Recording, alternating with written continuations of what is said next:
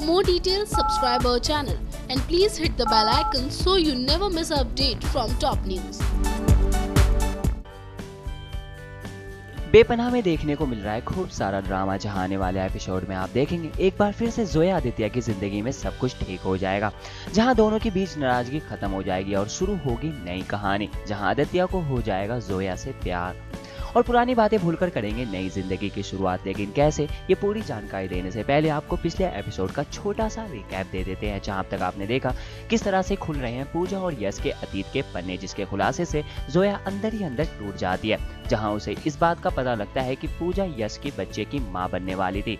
इसी के साथ आने वाले एपिसोड में आप देखेंगे आदित्य के सामने आएगा पूजा का सच जिसके बाद कहानी में आएगा नया ट्विस्ट जी हाँ जब आदित्य भी देगा जोया का साथ और साथ ही साथ दोनों के बीच प्यार भरा रोमांस भी देखने को मिलेगी। लेकिन अब आगे देखना हो जाएगा काफ़ी मज़ेदार।